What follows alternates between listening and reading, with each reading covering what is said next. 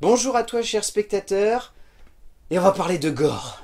De bon gros gore sa mère, le genre de gore qui sort en France dans les salles et qui frôle l'interdiction moins de 18 ans tellement il est. On va parler de The Sadness, réalisé par Rob Jabaz. Et alors l'histoire, ça se passe à Taipei. Euh, nous allons suivre un petit couple, Kat et Jim, qui semble couler un parfait amour, si ce n'est qu'ils vont pas pouvoir passer les vacances au soleil parce que Jim a du boulot. Mais pour autant, ça ne va pas empêcher, durant les 24 heures pendant lesquelles nous allons les suivre, qu'il y ait une épidémie qui commence. Une épidémie très étrange, qui semble transformer les gens en zombies, mais pas que. Et ça, vous le découvrirez en voyant le film. Et pour en parler avec moi, ben, j'ai l'impression que je te fais venir que pour des films Que de gore, pour, quoi. que pour du gore. hein. Ouais, Ouais, c'est ça. ouais, ouais. Après Spirale, Est-ce que ce serait pas ce que je préfère hein? Peut-être, peut-être, c'est Peut-être. peut-être pour ça. Comment vas-tu, Marie? Je vais très bien. Il fait encore une fois très chaud. Oui, non, mais Hein, c'est un sketch. C'est un sketch. Chaque année, on va faire une vidéo. Il va, il va faire euh, 35, Ouais. 40 degrés. Tout, On- tout en sueur. Voilà, hein. c'est des vidéos moites. Oui. C'est pas Bah, comme, comme les films. comme hein. les films, peut-être. C'est peut-être pour ça. Euh, comment je pourrais vous placer The Sadness? Alors, The Sadness, c'est un film qui est très particulier parce que je pense que, juste de nom, si vous êtes un peu amateur de films de genre ou de films gore, vous en avez forcément entendu parler parce que le film arpente les festivals dans le monde entier depuis deux ans. Et il essaye de se faire une réputation. Une réputation qui grimpe clairement depuis maintenant une petite année, puisque le film, bah, par le biais de sa thématique et par le biais de son sujet, sonne parfaitement dans l'actualité a égayé beaucoup la curiosité de pas mal de cinéphiles, notamment des amateurs de genre, parce que le film s'est taillé la réputation d'être l'un des films les plus gore jamais produits depuis un bon petit moment, et surtout un des films qui met le plus mal à l'aise euh, un nombre assez conséquent de spectateurs. Pour vous donner un ordre d'idée, le festival de Locarno, il a été projeté là-bas, et la réputation veut qu'il y ait plus de la moitié de la salle qui se soit soit évanoui, soit qui soit mis à vomir, soit qui soit sorti en crise d'angoisse. Donc le film se taille une bonne réputation, et j'avoue qu'en tant que Nantais, on a eu l'occasion de le projeter deux fois à l'absurde séance, que les deux fois, les gens sont ressortis un peu tremblotants, pas bien. Mais donc, cette réputation n'est pas juste une réputation. C'est fondé, le film met les gens mal à l'aise, le film met les gens dans une position assez particulière. Et du coup, grâce à ça, eh ben, le film a droit à une sortie en salle. Ce que honnêtement, personne n'attendait. Pour en avoir discuté un peu avec ceux qui avaient vu le film, aucun n'imaginait le film pouvoir sortir dans une salle, tellement le film était gore, tellement le film était audacieux dans ce qu'il proposait. Mais heureusement, donc, il sort dans les salles. Peut-être de manière très réduite, parce que j'imagine que beaucoup d'exploitants ont très peur de sortir le film au vu de son interdiction. Parce qu'une interdiction moins de 16 ans avec avertissement, c'est quasiment à moins de 16, donc ça veut dire qu'on peut pas le diffuser en pleine journée et qu'il faut attendre le soir. Donc voilà, contexte placé, ma chère Oui, Marie. c'est pas du tout le genre de film qu'on s'attend à voir en salle. Oh non, pas du tout. Ouais, ouais, ouais. Qu'est-ce que tu en as pensé de ce Sadness? Eh bien, euh, j'étais j'étais bien tendue à la fin du film, pendant tout le film d'ailleurs. J'ai beaucoup aimé. Comme tu dis, c'est audacieux. Euh, ça change des films hein, avec un virus euh, qui va se propager. On sent que c'est plus réfléchi et audacieux dans sa manière de proposer le virus, en fait, hein, de comment ça va se développer. Et ouais, c'est plus réfléchi. hein. mais de Mm. toute façon, je pense qu'on va, plus, on va développer par rapport à ça Oh bah oui. euh, vraiment le virus, comment fonctionne. Ouais. Vous allez comprendre, je pense. Euh, bah, je suis complètement d'accord avec toi. En fait, je t'avoue que, bon, Jean-Maurice, le responsable d'Absurde Science, me l'avait peut-être un peu survendu. Parce que pour lui, c'était un chef-d'œuvre ultime de gore et c'était hyper audacieux. Je dois avouer que, en termes de pure expérience de cinéma, ça faisait longtemps que j'avais pas été autant à cran dans mon siège. Oui, voilà. Mhm. C'est vraiment un film où on est accroché et où limite on a envie de péter les bras de son fauteuil parce que réellement le film est tendu comme c'est pas permis. Du début à la fin ça ne bouge pas et honnêtement passer les 7 premières minutes où la situation est placée, on découvre les personnages, on voit leur quotidien, ils vont à mobilette, l'une va au boulot, l'autre va dans un café et là ça bascule. Donc clairement au moins le film ne va pas chercher à tergiverser par rapport à ce qu'il veut mettre en place. L'objectif c'est de balancer une épidémie. Donc à quoi ça sert sur un film de 1h40 de passer du temps à placer des persos, un contexte, etc. Juste vous montrer que c'est un couple. Point barre.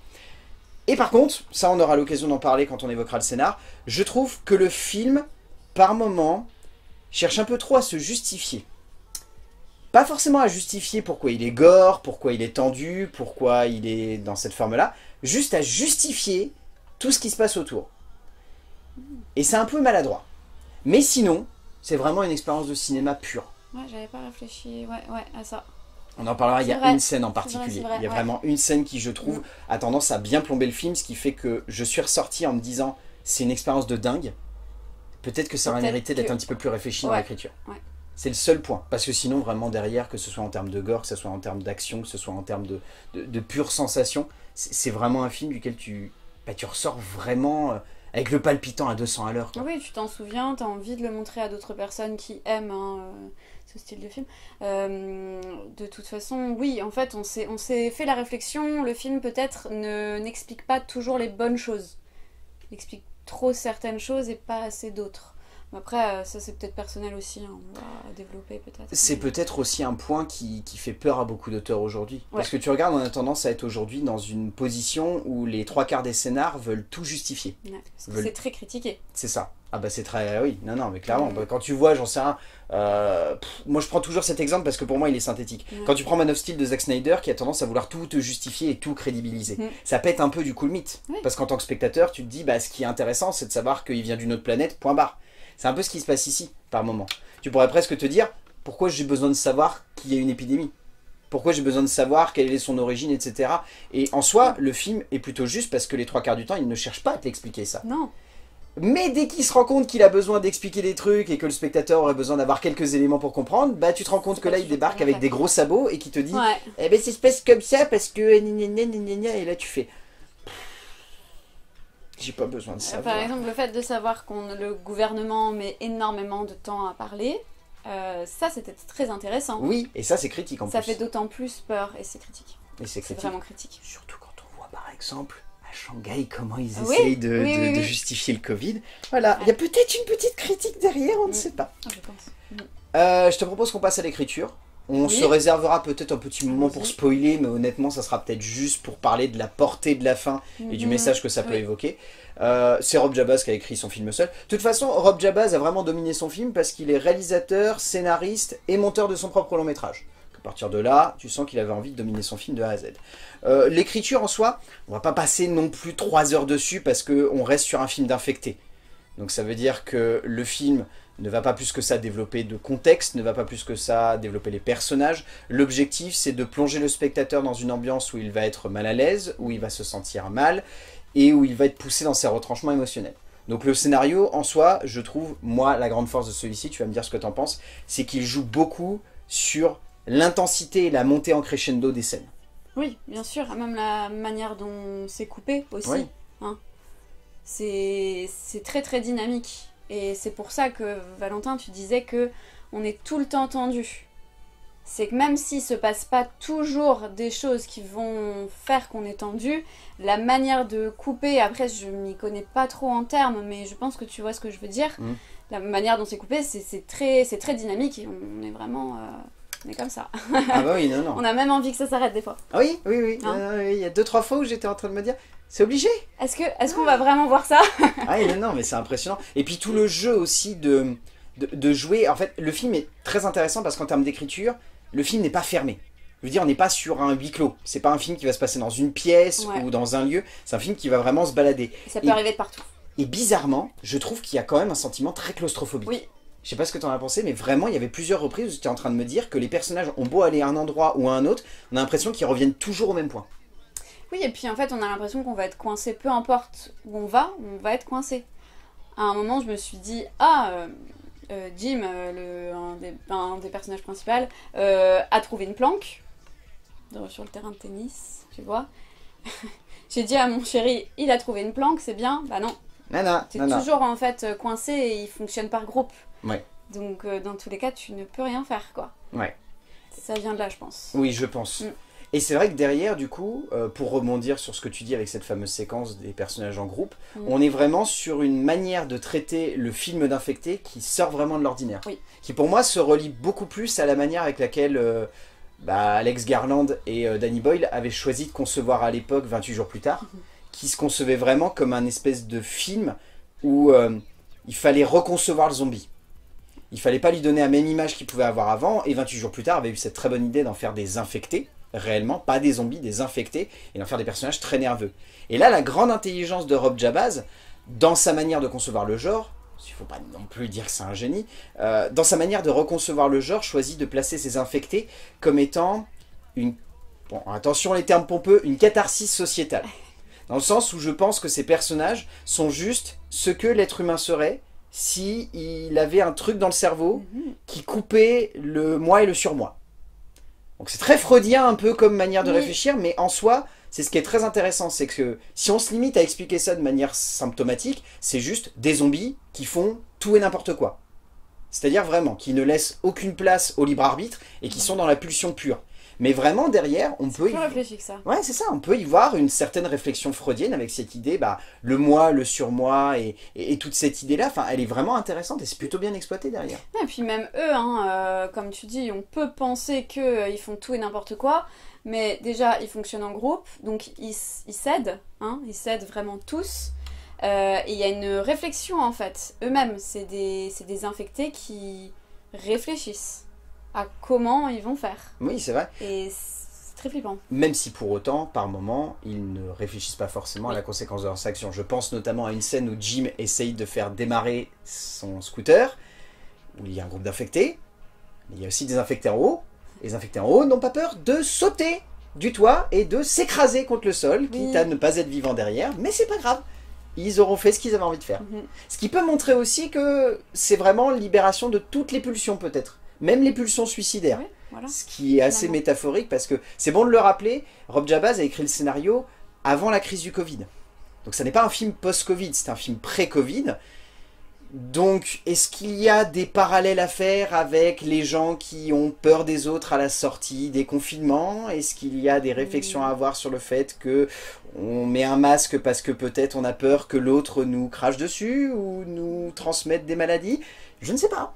Peut-être. Oui, je l'aurais vu euh, d'un autre œil si j'avais su que c'était euh, avant le Covid.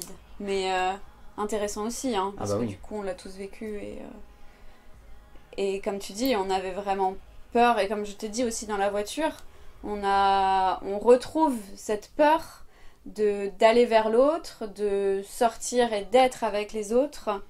Vraiment, on retrouve cette peur des pulsions aussi de, de l'autre, quoi.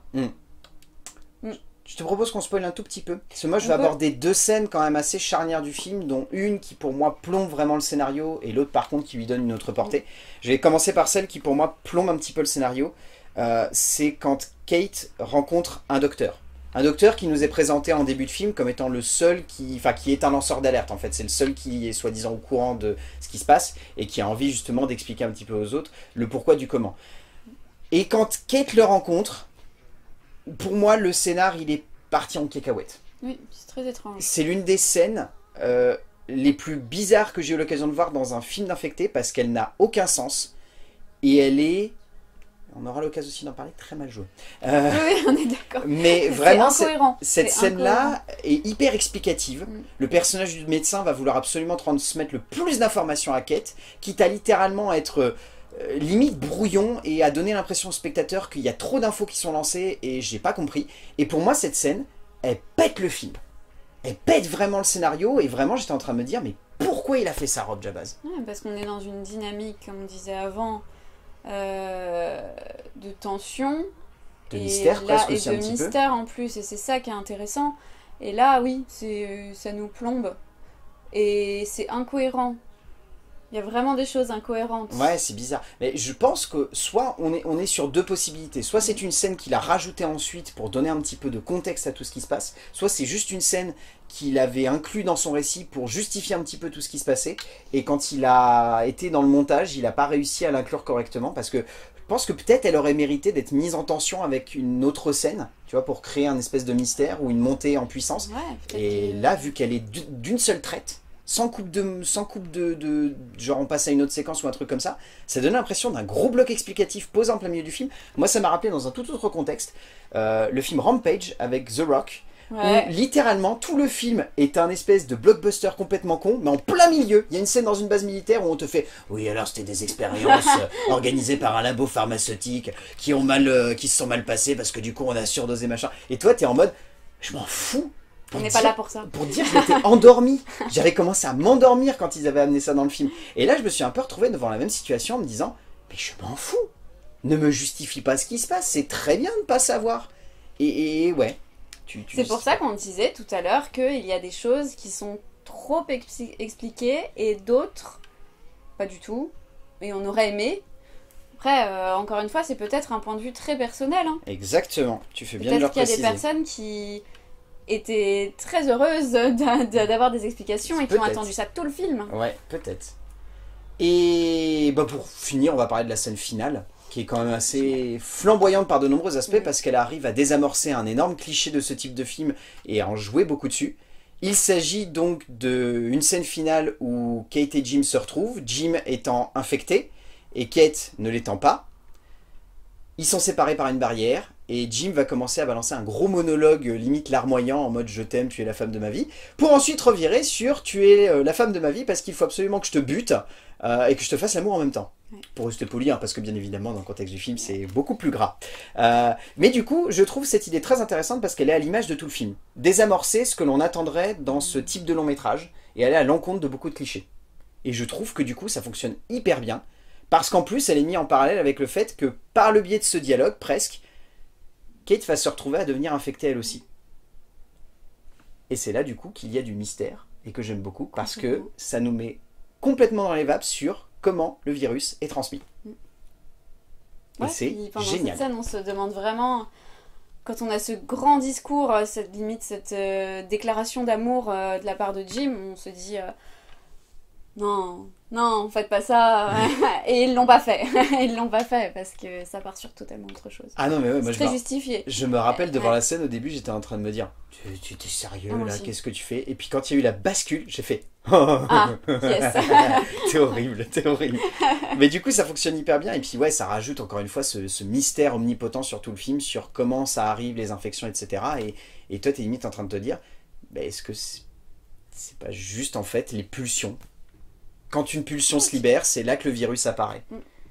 Et encore une fois, est-ce qu'on n'est pas sur une métaphore de la société moderne? Peut-être. Ça, c'est pas à moi de le dire, c'est aux autres. Très vulgaire, très vulgaire comme film. hein, Oui, en soit dit en passant, ouais. Ouais. Ça fait du bien.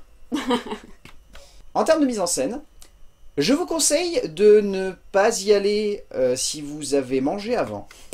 Parce qu'il est possible que The Sadness vous mette dans un sale état. Parce que Rob Jabaz a vraiment conçu son film comme l'un des triples les plus gore que j'ai eu l'occasion de voir depuis un bon petit moment. Je sais pas ce que tu en as pensé de ce point de vue-là, mais le film est très généreux avec nous. Si, si, c'est pour ça que je disais que on s'attend pas à avoir un film euh, comme celui-ci au cinéma, mais que ça ferait du bien. Parce que des films gore, pour être gore, il y en a. Oh oui. Je dis ça parce que en ayant vu la bande-annonce, je m'attendais un petit peu à ça. Et finalement, j'étais très agréablement surprise d'avoir autre chose. Ouais. Parce que le film, comme on l'a bien évoqué jusqu'ici, amène de la tension, mais cette tension est renforcée également par la puissance graphique qui est mise en place dans de nombreuses scènes. Je vous donne juste un ordre d'idée. Si à un moment vous sentez qu'il y a une rame de métro qui s'ouvre et dans laquelle un personnage rentre, accrochez-vous. Mm. Parce que vous ressortirez pas indemne de cette séquence-là. Clairement. Et moi, ça me sidère parce que le film, en plus, a ce parti pris très audacieux que tout est fait sur le plateau. Tous les effets gore sont sur le plateau. C'est-à-dire qu'il y, a suis des- il y a des poches de sang, mon pote. ouais. Le budget sang, il a dû Ouais. être aberrant. Le producteur, il a dû se dire Attends, c'est quoi cette note de, de sang de porc là? Je, je- n'y crois pas. C'est beaucoup trop cher. Mais c'est impressionnant parce que du coup, la plupart des films que j'ai vus dernièrement qui sont gore ont tendance à utiliser beaucoup de gore numérique. Ce qui peut être On maîtrisé. voit la hein. différence. Ouais, mais on voit la différence. Mais on voit la différence, notamment sur les acteurs. C'est clair et net que ça se voit sur un acteur lorsqu'il est réellement aspergé de sang et lorsque le sang est rajouté après. Même la texture, hein, c'est ça Ouais. qui, c'est ça qui donne envie de vomir. C'est ça qui me met mal à l'aise aussi. Ah hein. bah oui, parce que là, tout le long du film, à partir du moment où la première séquence dans le café se lance et que ça commence, le film ne s'arrête pas de lâcher des poches de sang non-stop. Mm. Et, et ce qui est intéressant aussi, on met beaucoup en avant le fait que le film est sous tension, mais parfois ce gore est presque libérateur. C'est-à-dire que je pensais à une séquence toute bête, si vous, pareil, vous voyez un moment un groupe de personnages dans une salle d'attente d'un hôpital et que vous voyez la télé s'allumer, vous risquez de voir le gouvernement dans une situation que j'ai trouvée particulièrement cocasse et très bien foutue, qui permet à ce gore d'être extrêmement drôle. Et, à, ce moment-là, j'étais vraiment en train de me dire, ok, le film est capable de jouer sur tous les tableaux du gore et d'être à la fois une œuvre qu'on peut considérer comme bis, voire proche du Z même par moment, mais pour autant, qui sait quand même se donner des petits instants où il a conscience de ça et qu'il est capable de prendre du recul et de se dire, je peux rigoler presque de tout. Et moi, ça m'a complètement séduit devant le film. C'est vrai que ça nous laisse comme un instant de répit, entre guillemets, alors que c'est un passage très gore. Oh oui. Ouais. Ah mais on souffle un petit peu. Ouais. Et on rigole. Mais parce, et parce qu'en plus, il faut se dire que derrière, sans spoiler, la séquence qui suit cette séquence-là, elle est très dure. Très dure à voir. Très très dure. Et il y a beaucoup... C'est très sadique, hein, attention. Hein, si vous n'êtes pas à l'aise avec ça, c'est très sadique. Hein. Oui, c'est vrai que c'est bien de le préciser parce que c'est vrai que la dernière fois qu'on s'était vu, on avait parlé de Spirale et pour le coup, Spirale en termes de gore est presque un jeu d'enfant à côté de ce film. Oui. Vraiment. Et ça se veut aussi un petit peu comme ça, hein, parce que voilà, c'est aussi le sujet, mais euh, là pas du tout, c'est tout autre chose. Hmm. Mm. Ouais, c'est impressionnant. Et puis derrière aussi, la mise en scène, est très intense parce que moi j'aime beaucoup la force qu'a Rob Jabaz de se dire pas besoin de mettre trop de coupes de montage, pas besoin de mettre mm. trop de cuts, au contraire, laissons l'attention prendre place. Et ce qui est impressionnant, c'est que ce genre de film, on pourrait se dire que le cinéaste va tout le temps tenir sa caméra à l'épaule et que ça va donner un rythme très intense, très violent, mais que peut-être par le moment on va avoir des problèmes de lecture. Or là, pas du tout. Le film enchaîne beaucoup de plans séquences, qui vont vraiment créer une montée en puissance, enchaînent vraiment des, des, jeux de lumière et des instants où il y a un angoisse qui se crée. Encore une fois, cette scène de, dans la rame de métro est impressionnante. Les jeux de lumière sont vraiment dingues. C'est vrai que j'en ai, pas, ai pas parlé, mais... Et puis même le jeu de la scénographie aussi. le jeu juste de, de, de, jouer sur le, le fait que cette rame de métro, elle est, elle est très fermée, et pour autant, le fait qu'il utilise des, des courtes focales qui vont vraiment jouer sur des grands angles, ça fait que on voit quand même tout dans le cadre. C'est pas uniquement genre on va voir un coup de couteau et puis un autre coup de couteau. C'est genre on voit vraiment tout de loin. On voit vraiment tout de loin. On voit le mec arriver, sortir son canif, planter un gars, reculer, se marrer, aller replanter un gars et ça. T'es dans la même situation que les personnages dans la rame de métro, tu comprends pas ce qui se passe. Oui, puis c'est très vrai parce que Justement, on parlait de ça. Alors oui, ça a été fait avant le Covid, mais nous, on a beaucoup vécu ça après les confinements, de sortir et en ayant un petit peu peur en fait de l'autre. Et on voit ça beaucoup hein, dans les agressions, que ce soit, ça peut arriver dans le tram ou ailleurs. Souvent, les gens ne bougent pas. Ils sont sur leur téléphone, ils ne bougent pas, ils ne veulent pas le voir. Et là, c'est très bien et là, c'est très bien retranscrit. Notamment par tous ceux qui décochent leur téléphone une fois que l'autre est maîtrisé. Ce qui m'a d'ailleurs beaucoup fait penser au fait que le film, au-delà de sa métaphore post-Covid bien évidemment, mhm. a aussi une métaphore sur potentiellement ce qui se passe dans les rames de métro des fois. Parce que, mine de rien, si on reprend le contexte de base de cette scène-là, il y a une vraie métaphore autour du harcèlement et du fait que parfois certains ne vont rien faire et vont juste se contenter de regarder, quitte à ce que la personne en question agresse plusieurs personnes en même temps. Et c'est vrai que là-dessus... Ils attendent que ça vienne à eux. Ouais, et c'est vrai que là-dessus, le film, bien au-delà de sa réflexion autour de la peur de l'autre, autour des pandémies, etc., a une vraie métaphore autour justement de la peur de l'agression en elle-même. La peur vraiment de l'autre lorsqu'il agit et qu'il fait quelque chose sur lequel on ne pourrait pas du tout avoir d'influence en fait. Et c'est ça qui est très impressionnant et, et, je trouve que Rob Jabaz dans sa mise en scène a très bien réussi à retranscrire cette angoisse cette peur justement de se retrouver dans cette situation et de se dire qu'est-ce que je fais en tant qu'être humain? Et le personnage de, de Kat euh, montre bien ça. Parce que si vous regardez le film, elle est vraiment toujours à côté. Elle va se cacher, elle parle pas beaucoup. Hein, hein, voilà. Elle, a, est, elle est très jeune hein, d'ailleurs, mais elle joue très bien. Elle a beaucoup d'expression. Hein, dans ses yeux. Elle n'a pas besoin de beaucoup parler en fait. Et je pense que c'est elle qui nous donne cet effet de limite claustrophobe parce qu'elle est très renfermée sur elle-même en fait. Elle est, elle est très forte en tout cas. Euh, j'ai ressenti ça. Bah, c'est magnifique. Tu me permets de faire un raccord sur le casting, donc c'est parfait. Euh, alors, casting. Il est bon de préciser, et c'est quand même assez impressionnant, que les trois quarts du casting de ce long métrage sont presque des amateurs. C'est-à-dire que la plupart, ils ont un ou deux films à leur actif, si ce n'est un acteur qui joue entre guillemets l'antagoniste principal, qui lui a une longue carrière derrière lui. Mais sinon, euh, alors, déjà Beranzu et Regina Leigh, qui jouent donc respectivement Jim et Kat, les deux sont hallucinants. Les deux sont vraiment impressionnants. Ensemble comme euh, séparément. Bah oui, parce qu'ils ont une grande majorité du film d'ailleurs où ils sont séparés. Mais Regina Leigh est une, bah tu l'as déjà bien dit, mais c'est vraiment une très très bonne scream girl et actrice de films d'horreur en devenir, parce qu'elle a vraiment un, un visage qui marche. Tu l'as dit aussi, elle est très jeune. Elle fait très jeune. Elle fait très jeune. Elle je fait pensais pas qu'elle elle fait plus âgée. Je ne pensais pas qu'elle était aussi jeune. Oui, c'est vrai. Elle avait- tu m'as dit qu'elle avait 21, 22 ans. 22 ans, ouais. Ouais. Elle fait jeune quand même, hein, elle fait vraiment jeune. Mais je trouve que du coup, elle rend bien. Et en face, Beranzu, il est vraiment bon dans le rôle de Jim parce que son personnage est, est, est tout le temps angoissé. Du début à la fin, il est angoissé, il est dans une position où vraiment il a une vraie évolution qui monte en crescendo et son interprétation passe de euh, je suis le copain qui m'en fout à je ne suis vraiment pas bien. Et puis à côté de lui, euh, il y a Ying Ru Chen qui joue donc la grosse avec un œil en moins qui s'appelle. Molly, comme quoi, euh, qui est vraiment bien, elle a une bonne dégaine et je trouve qu'elle joue bien la personne très angoissée. Oui, et Il a- très seule. Oui, et très très seule, c'est assez impressionnant, ça, mais, ça, mais ça rend hyper bien et je trouve notamment que dans cette scène de l'hôpital, elle a une vraie montée en puissance qui rend très très bien. Mm. Et par contre, faut parler de lui, Zhu Chang-yang, Ah là là. qui joue donc alors... Son personnage s'appelle le businessman, donc on va l'appeler ainsi, mais euh, waouh Mm. Lui, il est... euh, il m'a foutu les, c'est les boules. Il est... euh, ça Et faisait il a une grande montée en puissance aussi. Ah bah oui, et bah il a une... Mais tu sens elle- qu'il se contient tellement que tu sens que son personnage, du coup, une fois infecté, va être le pire de tous. C'est ça. Mais ça m'a, ça m'a scotché tellement son interprétation est vraiment. Eh, En fait, pour vous donner un ordre d'idée, son interprétation, elle est vraiment condensée dans cette scène de rame de métro. Elle a vraiment une évolution qui est parfaite du début à la fin de cette scène, et ensuite, ça va ne faire que monter encore plus en puissance et être de plus en plus angoissant. Et tu as peur de lui. Et tu as vraiment peur de lui. Tu n'es pas bien, tu n'es pas bien. Tu vas voir sa tête, déjà, tu sens qu'il y a un truc qui va pas. Tu sens que cette petite calvitie sur le dessus du crâne, elle est pas faite pour te rassurer. Et après, non, non, mais ça, c'est. Mais c'est le grand travail, je trouve, de Rob Jabaz d'avoir réussi à trouver des acteurs qui ont vraiment la gueule de l'emploi, qui passent super bien pour leur personnage et qui, du coup, portent à merveille le film derrière. Ça m'a impressionné, moi. Oui, il les, il a- il les ont pas il les a pas choisis pour ce qu'ils ont fait avant.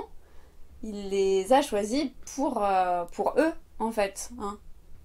C'est ça, hein, je Mm. pense. Ah bah, c'est complètement Je ça. me demandais tout à l'heure pourquoi il était allé vers des personnes qui n'ont pas forcément un bagage euh, énorme. Bah voilà pourquoi en fait. On sent que c'est vrai, c'est juste. Tout à fait. Il savait ce qu'il voulait dire. Exactement. On arrive à la fin de cette vidéo. Qu'est-ce que tu retiens de The Sadness? Je pense déjà que j'aimerais bien le revoir. Euh, et je pense qu'on n'est jamais trop préparé. Euh, je retiens un film qui change, euh, un film de virus qui change, et un film très marquant. Et je pense qu'il arrive à point nommé pour nous, là. Si vous le regardez maintenant, je pense que ça va être très intéressant, Je suis d'accord avec toi. émotionnellement. Ouais, ouais, non, non, je suis complètement d'accord avec toi. Mm. C'est un film qui, non seulement arrive à comprendre que pour réussir à faire un petit peu neuf dans le cinéma, il faut savoir se servir du passé pour aller vers de la nouveauté. C'est un film qui prend un film d'infecté classique et qui se dit qu'est-ce qui serait intéressant d'amener de nouveau pour faire en sorte que ça fonctionne aujourd'hui. Et le film le fait super bien en étant quasi visionnaire puisque, il faut le rappeler, c'est un film d'avant Covid, quand même pour un film d'avant Covid, chapeau bas d'avoir réussi à comprendre un petit peu les névroses de la société avant l'heure. Mais ouais, c'est impressionnant de voir un réalisateur aussi bien cerné à quel point maîtriser un sujet peut l'emmener assez loin. Ça ne l'empêche pas de faire des maladresses. Vous l'avez entendu, on l'a évoqué, il y a quand même quelques scènes qui sont maladroites et il y a quand même une structure qui mériterait d'être un petit peu plus travaillée dans le mystère. Mais pour autant, la mise en scène, les acteurs, le montage, tous ces effets-là, bah, ça fait que The Sadness de Rob Jabaz, foncez le voir si vous avez l'occasion.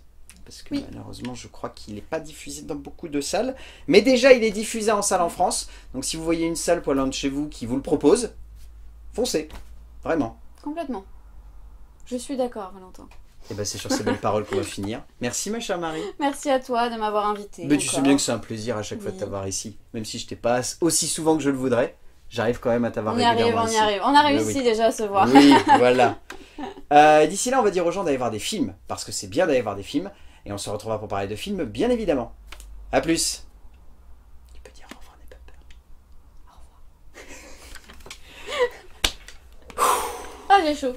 Ouais, moi Je aussi. sens que je transpire même des- du dessus de jambe. Il fait beaucoup trop chaud pour travailler, madame. Beaucoup trop chaud.